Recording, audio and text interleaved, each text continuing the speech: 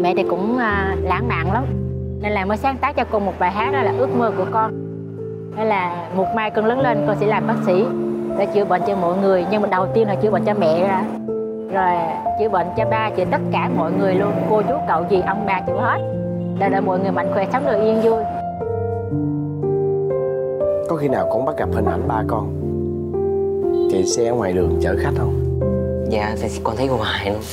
Về nhà thấy mẹ nằm trên võng và thậm chí có những lúc mà về khuya quá mẹ không mở đèn lên được thì những cái hình ảnh đó nó khiến cho con con cảm nhận gì về cái cuộc sống của ba mẹ mình hiện tại khi mà mình thấy những cái cảnh nó nhiều á thì mới đầu là con cũng thấy buồn nhiều. Nhưng mà khi mình nhìn thấy nhiều thì cái đó với mình là cái gì đó để mình nó thôi thúc mình phải không không được phải dừng chân lại. Cố gắng phải luôn luôn cố gắng để mà cái mình cải thiện cái cuộc sống gia đình mình nhiều hơn. Con sợ nhất điều gì hiện tại điều mà con muốn nhất là cho mẹ con thay thận được. Để mẹ con có nhiều sức khỏe để sống bên con với ba. Tại vì là bây giờ mẹ cũng tuy là bệnh nhưng mà không có phải là nghỉ ngơi là như mọi người, mà mẹ vẫn phải làm những công việc để mà kiếm thêm cái thu nhập cho gia đình. Là cái sức khỏe mẹ cũng càng ngày càng yếu nữa, nên là con chỉ mong làm sao cho mẹ có sức khỏe, cũng may mắn có điều kiện thay thận được. Mà là chú muốn hỏi con là, con có sợ nhà không đủ điều kiện để có thể thực hiện những cái ước mơ những cái hoài bão và cái cái sự đam mê của con hay không? Dạ con chào cô chú. Chào con. Dạ. Chào anh. À, em xin giới thiệu hai anh em của em Quốc Thuận và Ngọc Lan đến từ chương trình gõ cửa trong nhà. Hôm nay là đến uh, thăm gia đình của mình. rồi dạ xin chào. Dạ. à, mời chị cả nhà chào con. Ừ, dạ con. Rồi chú vô nghe. Vô. tuổi mười ba con phải xa gia đình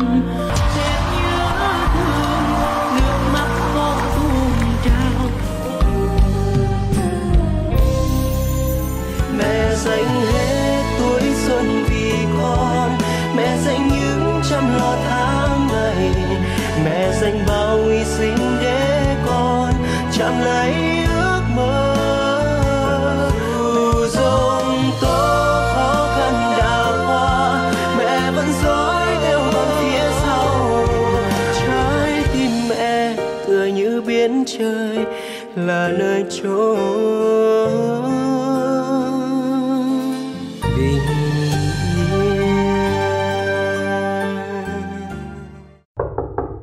à, xin chào cả nhà.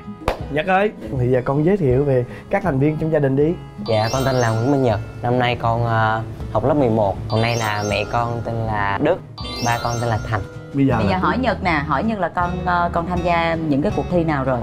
Dạ cuộc, cuộc thi đầu tiên là giọng hát Việt nhí. Con thi 2 năm Năm 2017, 2018 Thì 2017 là vậy thì con đang vỡ giọng nên là con rớt con giống mặt 2018 con quyết định con thi lại nữa. Rồi à, con có được cái ờ, giải thưởng Dạ con ờ, tới top 10 à, đức ơi cái công việc của đức hiện giờ đó là gì ạ? Hồi trước thì em là đi dạy em giáo viên dạy toán lý. Ừ. từ năm 2018 là theo nhạc đi thi dòng hát Việt nhí xong cái là vô là em bị biến chứng của bệnh thận bị u tuyến thận giáp cái là mổ ở này luôn hiện tại thì tình trạng sức khỏe của em như thế nào? Nói chung thì à, chạy thận cũng lâu rồi, lúc em nhập 16 tháng là em bắt đầu chạy thận cho tới giờ này. Nó chạy càng ngày nó nó sẽ yếu dần đi. Biến chứng qua nhiều cái khác thì nó sẽ mệt hơn, nhưng bây giờ thì em bị tim rồi bị huyết áp rồi bị cơ thể mất khả năng giữ canxi luôn. Nên em hay bị tơ tay tơ chân á, hay bị bị bị tụt canxi á.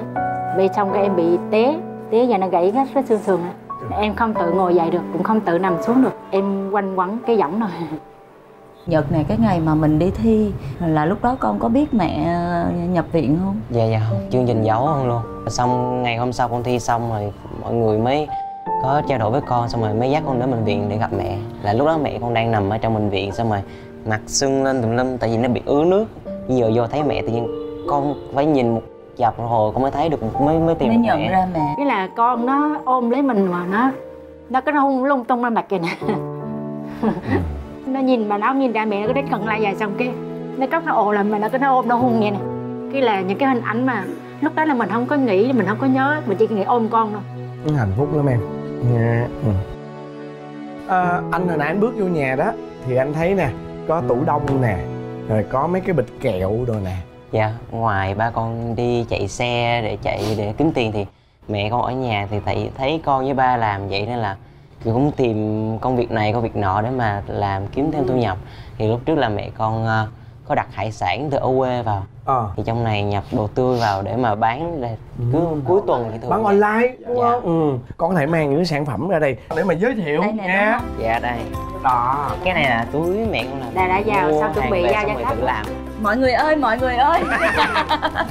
À, trên tay ngọc lan và quốc thuận à, đang cầm những cái sản phẩm à, handmade hả cái này được gọi là Handmade. handmade. kẹo à, nha. kẹo handmade kẹo được làm bằng từ sữa và các loại hạt. từ sữa và các loại hạt. Có rất là nhiều à, vị nhiều vị để cho mọi người à, có thể à, lựa chọn à, và được gói trong những cái bao rất là xinh xắn như thế này. Hoặc là quý vị có thể mua một cái gói như vậy để làm quà tặng cũng được. Đó dạ. đây à, quý vị à, muốn đặt hàng thì quý vị hãy liên hệ vào số điện thoại. Dạ. 0936 953 986 đó 0936 953 986 ngon quá em ơi. Ngon. Ủa thành ơi ba thành chạy xe tức là chạy xe công nghệ hả? Em chạy Grab anh. Ừ chạy lâu chưa? Em chạy um, lúc mới vô lúc là mới vô ạ là rắp bay đúng không? Rồi bây giờ anh hỏi nè tình trạng căn nhà này là như thế nào? Và cái đây nhà thuê nhưng mà trước kia là em mới vào là ở gần bệnh viện á. Ừ. Nhưng mà nhà nó chỉ có 10 khoảng 12 mét vuông ừ. Nên là nó rất là chật nhà bên lỗ mà sống điện thoại không có những lọt được. Nên là ngột ngạt quá cái rồi cái chị báo thanh niên cái vô thấy nhà ở chịu nổi cái cái cái, cái cô bé Giới thiệu cô, đây. cô thuê dạ. À, ở đây thuê tháng nhiêu em dạ cái đây là 4 triệu. Nhưng mà trước đây công việc của anh ờ, ở dưới quê là là là ở ngoài quê là mình làm cái gì? Ở ngoài quê là hai vợ chồng trước kia là giáo viên dạy toán. Đến khi mà à, bà xã vô đây nhập viện á càng ngày càng nặng dần cho nên quyết định là à, bỏ việc này đó luôn. Và vào đây đi chạy uh, xe grab với lại đi dạy gia sư rồi đó. Thường là nhật đi diễn vậy là ba sẽ đi cùng con hả? Dạ thường nếu mà ba rảnh thì ba sẽ Chở con đi. Đi. Nếu mà nhiều hôm mẹ mệt thì con tự bắt xe. Dạ à, xô con nhiều không tùy lắm cô tại vì con là đang ở cái lứa tuổi nó đang lỡ cỡ nên đúng là rồi thường là con sẽ đi hát vào những cái dịp mà có lễ hội hay gì đó lúc mới có thi xong là con hay đi hát ở chùa Ừ. tại vì là mẹ kêu là khi mà con nhận được nhiều cái sự ủng hộ tình yêu thương của mọi người thì cái- cái đó giống như là một cách để mà con à, cảm ơn mọi người. Ừ Dạ. dạ tốt. Hát ở đâu cũng được. Dạ. Miễn nó là một cái nơi để mình thỏa cái đam mê của Dạ, đúng mình rồi. là được rồi. Ừ. À, sau chương trình này có lẽ là Lan và anh Thuận sẽ à, cố gắng để mà kết nối những cái phòng trà hoặc là những cái quán cà phê để cho con hát. Tại vì học lớp 11 là đã hát nhạc người lớn Đúng rồi, rồi, chứ đâu phải hát đúng nhạc rồi à. con còn bé bé nữa đâu. Đúng rồi nhạc rồi bây giờ gì nè? Chương trình ngày hôm nay đó trước tiên là trò chuyện thăm hỏi về cuộc sống gia đình ha. Và sau đó là chúng ta sẽ ngồi ăn cơm với nhau để trò chuyện thêm nữa. Lâu lắm rồi chị Đức không có được đi ra ngoài chơi Ừ. thì thôi bây giờ nhân cái dịp này chắc là nhờ anh sẽ hỗ trợ em để đưa chị xuống dưới để mình cho chị hít không khí ở ngoài trời rồi mình trò chuyện với nhau luôn. Yeah mình ủng hộ nghe. Rồi anh nó đang tập hát với Nhật. Lâu rồi tôi không được hát. Ừ. mình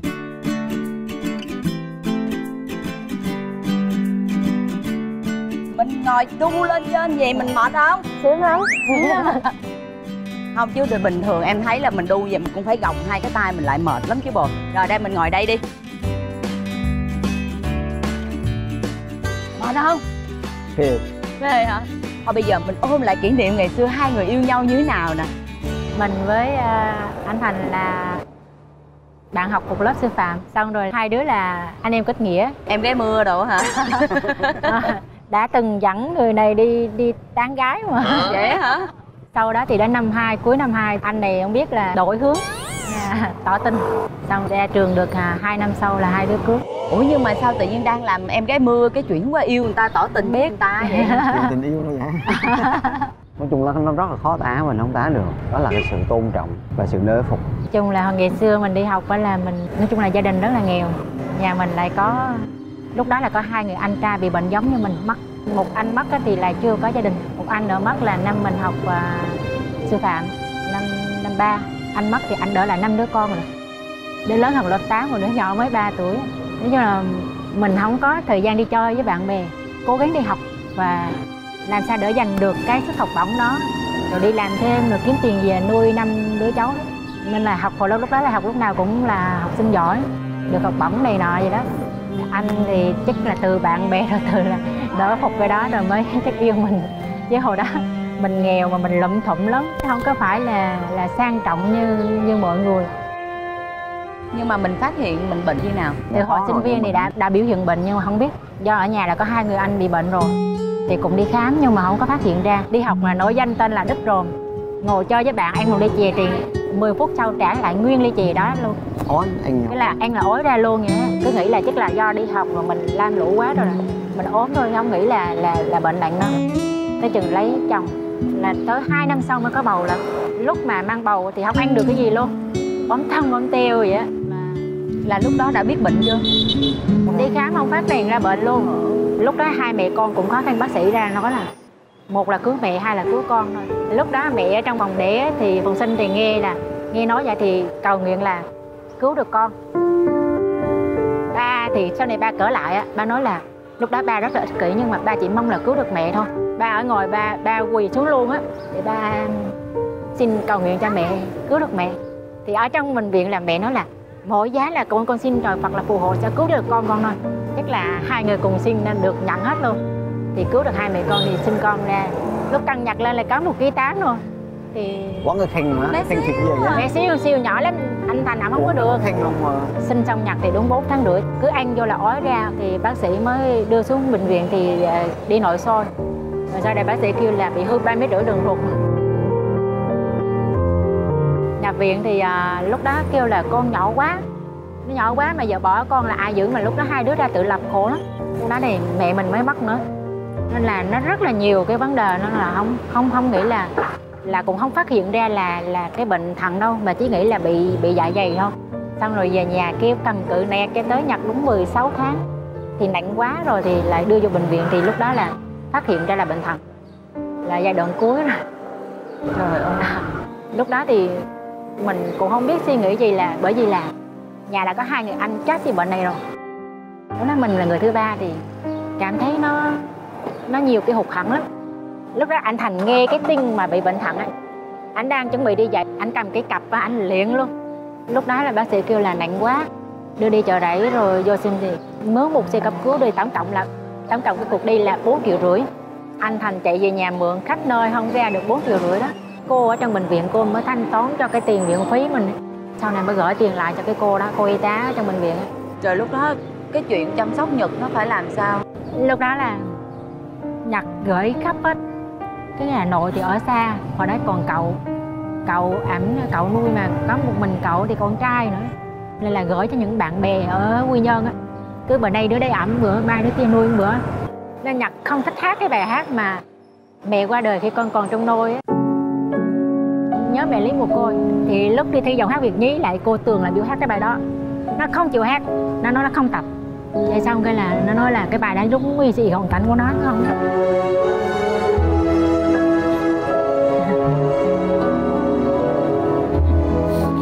Vậy lúc đó mẹ mới nói nó là, con đừng suy nghĩ vậy. Là cái lời hát thôi còn cuộc sống của mẹ vẫn còn sống mà. Nên là nếu như con lấy cái cảm xúc đó, con hát bài hát đó, con sẽ ý nghĩa hơn. Thì nó mới hát bài hát đó. Xuân nào là của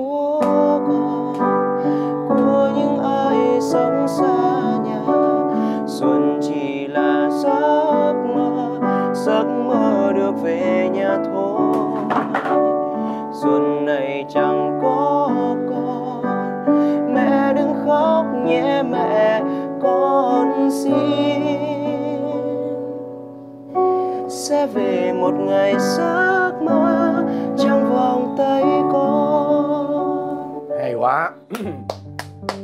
Con hát bài này à, con có nhớ nhà con ở quy nhơn. Dạ cái hồi mà con mới chuyển vào trong này là con ở cái nhà trọ cũ chú Cảm giác là người ta đi chơi nhưng mà con chỉ ở trong nhà với ba mẹ thôi thì thấy nhớ quê nhiều. Tại vì ở quê là thường là cứ gần tới đón giao thừa là nhà con nấu nhiều đồ ăn lắm. Bánh tét, bánh chưng rồi đủ mọi cái hết Mà vô trong này thì chỉ có một vài món lặt vặt xong rồi ba người gia đình rồi quay quần bên nhau vậy thôi. Cho chú thuận hỏi á, là cái con đường âm nhạc của con Dạ. con con muốn sau này con Dạ. có thể bật mí cho chú biết được không? Thì bây giờ là con vẫn chú tâm vào ờ, cái dòng nhạc quê hương nhiều nhất. Dạ. Nhưng mà từ khi mà mình cọ sát nhiều hơn thì bắt đầu là con tìm hiểu thêm một vài dòng nhạc khác. Như là nhạc trẻ hay là nhạc ballad? Hả? Con có thích làm ca sĩ nổi tiếng không? Khi mà ở quê thì mình chỉ là con chỉ thích hát thôi. Ừ. thích hát xong rồi con kiểu tam tìm một vài cái chương trình nhỏ ở tỉnh ở thành phố hay là ở trường này nọ thì để con tham gia. Và cái dần dần sau này thì à, một phần là vì gia đình. Thì thấy ba mẹ như vậy cũng khổ cực. Xong một phần là vì đam mê nên là con cũng như là một cái động lực để con cố gắng hơn để mà Ừ. con theo đuổi cái con đường âm nhạc em nghĩ rằng là anh chị đó phải rất là nghị lực lắm mới có thể vượt qua được những cái ngày tháng đó. Để mà ngày hôm nay khi mà ngồi kể lại, trên miệng chị luôn luôn là cười, nhưng em biết rằng là nó nó nó nó chất chứa rất là nhiều cái nỗi lo. Bởi vì mình cũng không biết là ngày mai mình sẽ như thế nào. Em nghĩ là cái mà chị lo nhất đó là lo cho nhật. Mình thường nói với con rằng là con hãy lấy cái nụ cười làm hành trang bước trong cuộc sống. Thì cho dù khó khăn nào con cũng vượt qua được. Lan biết là cứ ờ, sáng nào mình thức dậy á, là mình cũng bước ra cái tủ lên mình chắp tay mình xin là con xin trời Phật phù hộ cho con sống hết một ngày hôm nay. Xin một ngày đó.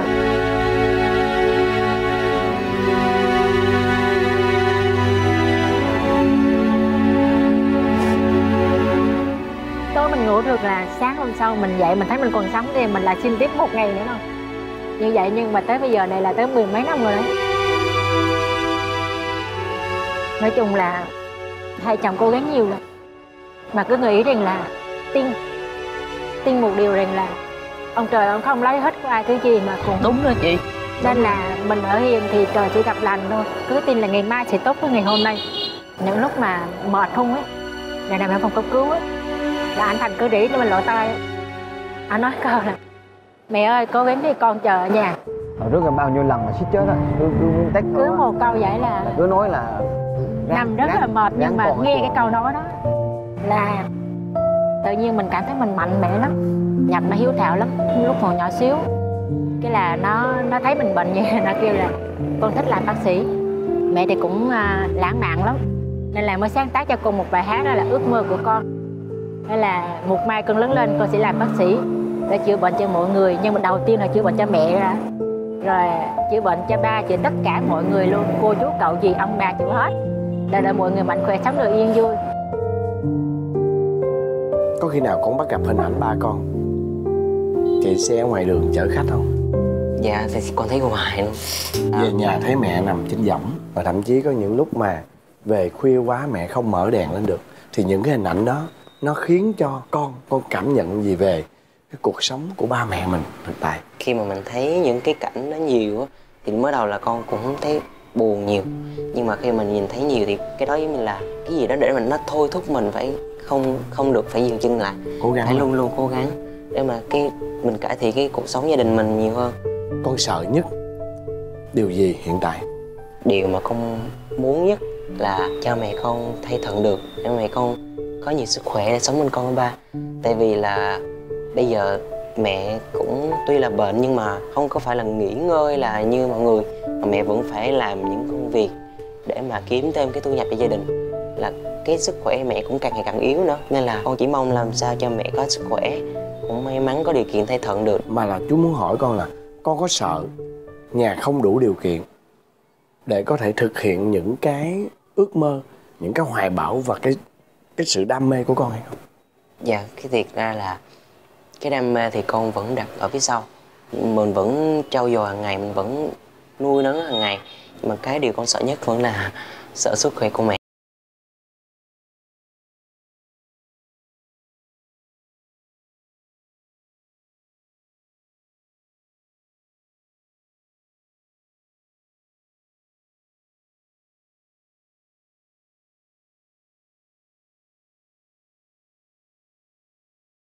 Dạ, ngay cả cái việc cái ghế đá công viên mà đôi khi đối với mẹ di chuyển xuống dưới nó rất gần nhưng đối với mẹ nó là một cái gì đó nó rất là xa xỉ.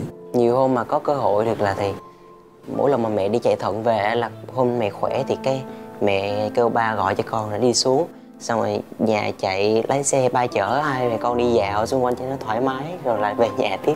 Bao lâu mà mẹ không về quê? Dạ từ hồi mẹ chuyển vào này là chưa về quê luôn. Có bao giờ mẹ nói mẹ nhớ quê không con có một mong muốn là trước khi mẹ mất mẹ được về quê. Ở quê con là có một- còn một căn nhà nhỏ nữa. Nhà đó chỉ khoảng chừng hai mươi mấy mét vuông thôi. Là nhà đó thì ba mẹ con mua trả góp thì khi mà chuyển vào chỗ này thì nhà vẫn còn. Mẹ nghĩ là lỡ mẹ mất xong rồi mang mẹ về ở quê để chôn giấu chứ đừng ờ, đừng có bán cái căn nhà đó để có nơi cụm thờ mình cứ nghĩ một cái gì đó nó rất là tích cực. Dạ, mỗi lần Tuổi trẻ. là con coi như ba thì sẽ như là cũng sẽ tìm một cái chuyện gì đó vui hơn để cho mà mẹ không có nghĩ tới nữa. Ngoài cái ước mơ rằng là cho mình sống hết ngày hôm nay thì chỉ còn một cái ước mơ gì nữa không? Bây giờ thì càng yếu lắm rồi. Nhưng mà thật sự là hồi trước á, là mình lo cho nhật Lan đến với nhật, bây giờ thì thấy con cũng đã đã trưởng thành rồi, có thể tự lập được. Nhưng mà nói con người nó tham lắm, vẫn còn muốn nữa, muốn nhìn con lớn nữa và nhìn thấy con nó tiếp tục trưởng thành nữa. Nhật thì nói là con sẽ cố gắng học thật giỏi, rồi hát thật hay nữa nếu mà có show nào, ít hay nhiều thì con cũng sẽ đi hát. Để con góp thêm tiền nữa là để cho mẹ thi thẳng mà bây giờ nếu như mà thay, tình trạng sức khỏe của chị mà chỉ cần thay thận là ổn hay sao?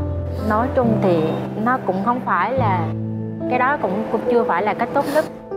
Nhưng mà bây giờ đó là giải pháp ờ, gọi là tốt nhất ở thời điểm hiện tại để duy trì sức khỏe. Chứ giờ không còn cách nào nữa. Mình cũng đang lo lắng bởi vì cái sức khỏe của mình nó yếu yếu quá. Thì thay thận đường nó cũng sẽ rất là khó. Nên là nếu mà nói nghĩ đến chuyện thay thận thì nó cũng rất là cảm giác như nó rất là xa.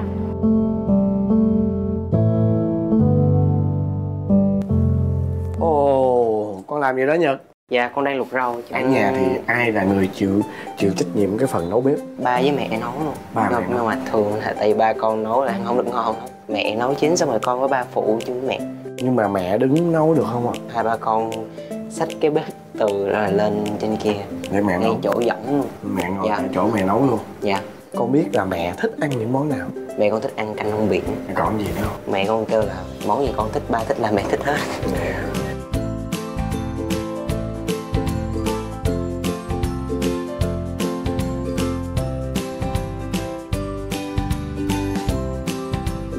người đầu bếp của bữa ăn ngày hôm nay là ai em biết không? Nhật. Đúng không nhật? Dạ đúng chút chút đúng chút chút bây giờ con có thể nói sơ sơ về cái bữa ăn ngày hôm nay đi con ạ. Con làm món nào? Món này mẹ nấu. À. món này mẹ nấu. Ờ. Món này mẹ nấu. Món này mẹ nấu. Món này mẹ nấu. Ai chà món này mẹ nấu. Nè. món này con nấu. Con luộc. Cái món này là khó nhất luôn á. À. Rồi cơm ai nấu nè dạ cơm này ba. Chà Xong. nhật nó góp công rất là Lớn. là lớn nha. Làm nó hâm lại cho nó nóng. Dạ mời à, cô chú mời ba mẹ ăn cơm ạ. À, dạ. Mời anh chị. Mời cả nhà ăn cơm nha cơm. Thành ơi à, sắp tới á thành có cái dự định gì cho cả nhà không? Hay là cho cá nhân mình không? Do giờ rồi xã vậy thì nó công việc mình khó lắm. Rảnh làm mình chạy xe rồi. Với lại là nó được một cái là có dạy gia sư tại nhà. Phụ huynh họ đồng ý với cái thời gian của mình á là mình mình mình dạy theo cái cái thời gian mình trống được. Hồi trước có trường à, tư trường À, à, cấp ba. học phổ thông hồng hà Hồng họ Hà. cũng nhận. Là họ nhận về anh về công tác. Nhưng anh về công tác được 3 tuần thì à, phải cứ, lo cho cứ, chị. cứ hay bị mệt mà đi thì đi dạy thì trên trường á thì cứ suy nghĩ hoài thì ảnh hưởng nó rất là nhiều. Không được khó Nên- lắm. Trường cũng tạo điều kiện cho mình nhưng mà cuối cùng mình làm vậy nó phải nó, nó ấy nấy cho nên là bây giờ quyết định là cứ cứ rảnh là chạy xe nhưng mà chạy xe đến việc cái là chạy cứ bắt từ đây qua điểm B xong rồi mình phải quay trở lại ở đây. Tại cái mốc là phải quay về đây chứ sợ mệt bất cứ lúc nào không biết làm sao. Thì cứ tới đây mà nếu mà vợ không sao thì có cuốc là mình nhận mình đi tiếp. Còn nếu mệt là mình tắt luôn. Cho nên mình chạy về cái nó, nó ít cuốc lắm. Có khi nào đang chạy xe trên đường mà nghe tin là vợ ở nhà mệt không? Cái đây có nha nên là mình chạy xe là khi mà bắt cuốc xa là trong lòng tự nhiên nó, nó khó chịu mà phải chạy. Mà cứ cầu nguyện làm sao mà ở nhà cho bà xã khỏe để mình đi về tới lo ở đây bây giờ nếu mà nói ờ, lao động chính trong gia đình cái nguồn kinh tế chính trong gia đình. Thì anh chứ anh hả? Tại vì đi chạy xe đó với mình dạy gia sư thì cũng nói chung là à, nhờ vào cái à, bán hàng online bán được lắm. Rồi đi giao đồ mọi người đồ, à, làm đủ thứ đó. cũng biết đến hoàn cảnh xong rồi ủng hộ nhiều. Đa số là mọi người yêu thương là ủng hộ là chính vừa bán hải sản này bán mắm bán đủ hết bán nước mắm rồi à, bán mật ong này rồi bán à, canh đào ngâm mật ong tự tay làm. Rồi anh đi giao hàng. Nói chung là cũng có công việc hàng ngày liên tục. Nhật dạ? Bây giờ á ờ, ngoài cái việc mà con luôn cầu mong cho mẹ con Dạ. khỏe mạnh thì con còn một cái điều ước nào không? Điều ước thứ nhất là cho mẹ của con. Thì điều ước thứ hai là con mong cho con có thể là thực hiện được cái ước mơ để làm ca sĩ của mình ừ. em một phần là thỏa cái đam mê một phần là cũng giúp đỡ cho gia đình để đỡ phải vất vả hơn. Cô Lan nghe mẹ nói là lúc trước là con không có thích làm ca sĩ đâu con thích làm bác sĩ. Dạ lúc trước là con thấy mẹ bệnh vậy là con con nghĩ là cứ chỉ có bác sĩ là nó sẽ chữa bệnh chữa bệnh cho mẹ của con tại vì ở ở phía ngoài của con cũng nhiều người bị bệnh nữa. Nên là con cơ nghĩ là à mình làm bác sĩ là mình sẽ chữa bệnh cho nhà của mình cho mẹ của mình thì chữa bệnh nếu mà có ai bị bệnh là chữa hết luôn dần dần sau này lớn lên con mới kiểu thấy người nếu muốn làm bác sĩ là cũng phải thời gian cũng rất là lâu. Nên là con nghĩ nếu mình phải tìm một cái con đường nào khác cho nó nhanh hơn Ừ. thì con mới nghĩ là đi hát cô Lan hiểu một điều rằng là cái tiềm thức của con á là một cái con người làm nghệ thuật. Dạ. Con rất là đam mê ca hát. Dạ. nhưng mà vì cái hoàn cảnh gia đình dạ con con mới chọn làm ừ bác sĩ. con lại nghĩ là con con muốn muốn chứ không phải thích nha. Muốn làm bác sĩ để chữa bệnh cho mẹ nhưng lâu quá nhưng mà cái con đường ca sĩ á, để nổi tiếng có thể nhiều khi còn lâu hơn. Dạ. Nhưng mà ít nhiều gì bây giờ cũng có thể Ừ. chạy xô được để kiếm được đồng ra đồng vô. Con phải thực hiện được hai điều. Đó chính là gì? Vừa là bác sĩ vừa là ca sĩ. À, mà chú nghe chú bị một cái là chú trúc linh lắm con ơi. Cảm ơn chú. Em thì bây giờ chỉ mong một điều là nhật ờ, ngoài cái giờ học thì buổi tối nhật có nhiều show hơn Ờ, dạ con cũng Ừ. dạ. có nhiều hôm mà con đi hát mà nhiều hôm nó nó dồn vào một buổi thì mình cũng thấy mệt đúng mà con nhiên con con lại càng mong để mình được như vậy tại vì cứ mình nghĩ là nếu mà mỗi lần mà mình đi hát gì là bằng cả nguyên cả một ngày ba đi chạy xe ngoài nắng thì ừ. nó nó nó đỡ biết bao nhiêu vất vả cho đúng ba rồi mẹ Đúng thì rồi. con kia nhiều khi thấy mệt vậy nhưng mà mình cảm giác thì mình thấy mình vui mình thấy nó hết mệt thành có có tháng nào mà gia đình bấp bênh không đủ bao nhiêu chi phí trang liên tục. Cũng cũng cứ lấy cái này đép cái kia. Hồi mà tụi em vô đấy mới vô hôm này á là nói chung là khó lắm. Không có tiền luôn mà lúc đó là anh thành đi chạy chạy grab tới một hai giờ sáng luôn. Em hồi đó là cứ tuần này cũng bán cá mà vẫn không đủ tiền. Có nghĩa là làm cái gì cũng không, không thấy nó khó khăn mà em cảm giác như nó bị bị bị ngạt thở vậy á. Bị mệt bị đuối luôn.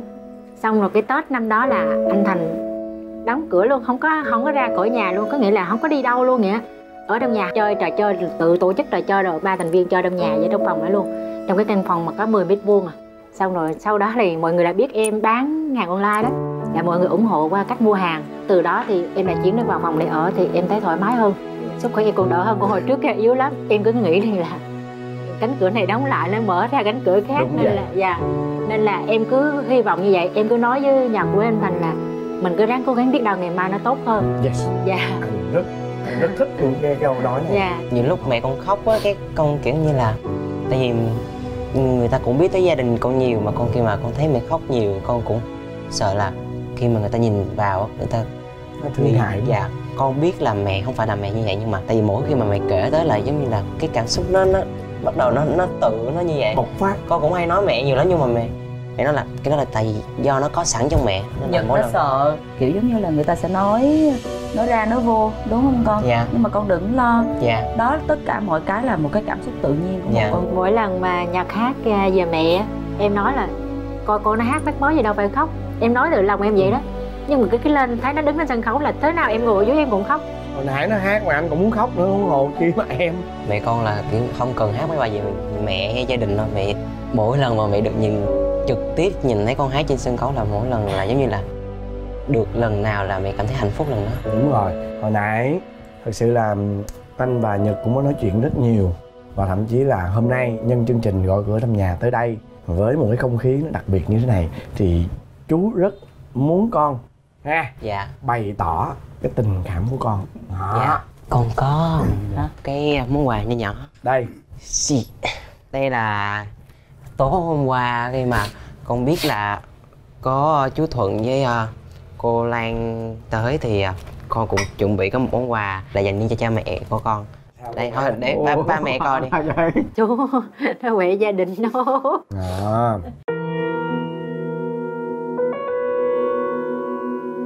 con mong gia đình mình sẽ mãi thật hạnh phúc luôn vui vẻ bình an dù có khó khăn thế nào, chỉ cần gia đình mình bên cạnh nhau thì con sẽ luôn cố gắng vượt qua. Vì ba mẹ là động lực lớn nhất đối với con. Và con biết với ba mẹ, con cũng vậy. Cả nhà mình cùng cố gắng để gia đình mãi bên cạnh nhau và cho mẹ được thay thận con và ba luôn khỏe mạnh và nhà mình càng yêu thương nhau nữa, ba mẹ hen. Con yêu ba mẹ nhiều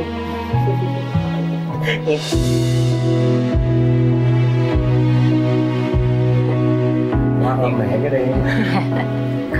Nó vẽ mà nó nó vẽ thêm cả ăn cúng vô này nữa. Nàng vẽ mẹ xấu quá.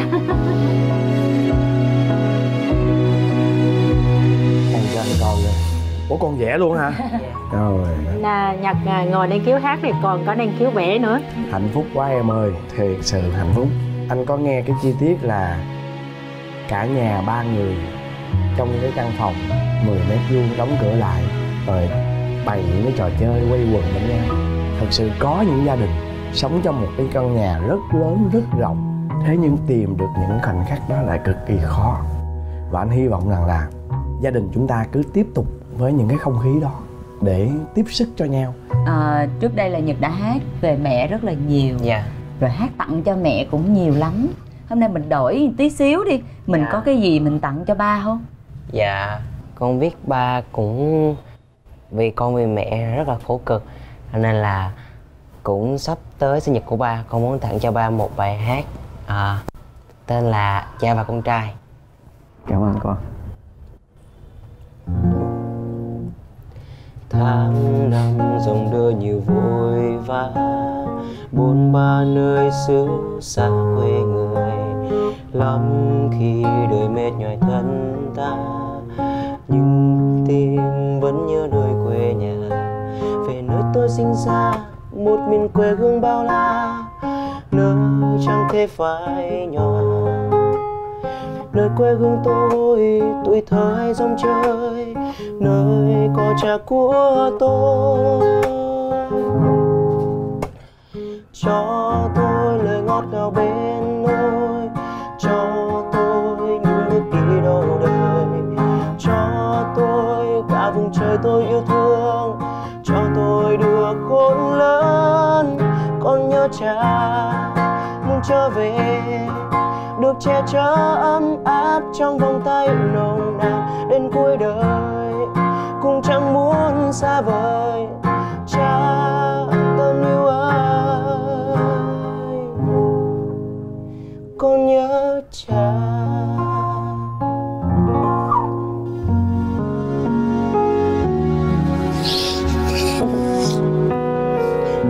Ba con thì trước giờ con chưa có tặng ba gì hết trơn có cô vào bài hát hay gì là ba cũng kêu là hát về mẹ. Nên là đây là chắc là lần lần hồi nhỏ giờ mà nếu như mà tặng ba. hai ba mẹ mà có một cái cái gì mà để mà tranh cãi nhau á lúc nào nó cũng binh cho mẹ là mẹ có sai cái gì nó cũng binh mẹ. Nên là ba chịu thiệt thòi. Không sao đâu đâu. Không sao đâu. À, em nghĩ cái người mà em sẽ gửi cái lời cảm ơn nhiều nhất đó là anh. Đúng rồi. À, anh là một người rất là ít nói. À, anh chỉ làm thôi. Anh chỉ hành động thôi. Và nếu như không có cái sự kiên cường của anh sự chung thủy của anh trong suốt mười mấy năm qua thì ờ, ờ, có lẽ là cũng rất là khó cho chị Đức để có thể vượt qua được. Ngày hôm nay đặc biệt là em sẽ gửi lời cảm ơn đến anh Ừ. một người đàn ông trụ cột của gia đình. Và cũng chúc cho thành anh thành có thật nhiều là sức khỏe thì sẽ có được những giây phút cực kỳ ấm áp trên lưng của mình. Đó chính là cổng vợ đi dạo vòng vòng. Ngao du sơn thủy thuận cũng phải nói rằng là dành một cái lời cảm ơn phải nói là trân trọng đến với thành một người chồng một người cha. Quá tuyệt vời. Ba con khó khóc lắm. Ừ. và bữa nay cũng Đúng, hôm nước nay mắt là rồi. cô Lan thấy ba ba đang rất là xúc động. Đúng là người đàn ông không nói mà chỉ làm thôi. Từ lúc quen nhau á là anh hẹn ra tới bưu điện. Chờ là ở hai cái đảo mình vậy ở đảo nhân hải anh nhân lý hai cái đảo xa nhau vậy xong mà anh mới gọi mà. Mà hồi lúc đó chưa có điện thoại thì phải đi ra tận bưu điện mới gọi được. Chỉ được một câu là ăn cơm chưa? Xong. Đó rồi đó. Nó cục hết sức. Cục. ra ngồi chờ nguyên một đêm vậy là ngồi chờ ăn cơm chưa? Thôi nghe về ngủ. Rồi hết. Vậy mà cô dính cô dính cô cô cô đức. Đó. Nhờ vậy mới có con. Cái sự chân thành đấy em. Không cần phải nói. Hành động là nó thể hiện được hết bữa quá. nào mà anh nói thêm chuyện. được một câu là anh nhớ em quá là bữa nay là em biết là anh say rượu Ừ. cho tới giờ này thì em đã rất là mãn nguyện nhưng em vẫn cứ tham tham đó là em vẫn ao ước nữa là hồi trước là em chỉ mơ được lúc em chạy thẳng là con mới 16 tháng thì em xin mỗi ngày đó là chờ con em nó lớn lên nhưng mà được 15 năm rồi giờ em lại muốn xin thêm nữa đã nhìn thấy con em nó trưởng thành hơn nữa và nhìn thấy nó bước lên dẫn dàng hơn trong tương lai. Còn với anh thì lời cảm ơn cho em nói bao nhiêu cũng không hết. Nên là một lần nữa thì anh chương trình giờ muốn cảm ơn. Cảm ơn chồng. Không ơn cái gì cả. Anh đi xin cho em rất là nhiều.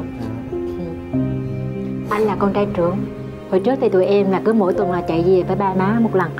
Em thì không còn ba mẹ nữa nên em coi ba má anh giống như ba má của em. Nên em không nghĩ là em sẽ ở sài gòn. Em nghĩ là khỏe thì em sẽ quay về đó. Chính vì đó mà cái ngôi nhà nhỏ ở em, ngôi nhà đó là không phải là tụi em mua được đâu. Mà tiền của những người anh em cô chú rồi góp lại cho em mua cái nhà đó. Thì em mới nói anh là, thôi, đợi cái nhà đó là để sau này có dịp em nhất định em khỏe em sẽ quay về cái nhà đó nhà nó viên gạch xanh viên gạch đỏ viên gạch vàng, có nghĩa là lúc mua về thì nó tàn lắm.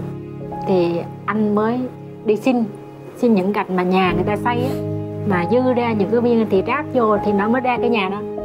Nên em thực sự là có kẹt cái lúc mà kẹt tiền không em cũng không muốn bán cái nhà đó, bởi vì nó quá nhiều cái kỷ niệm đối với tụi em.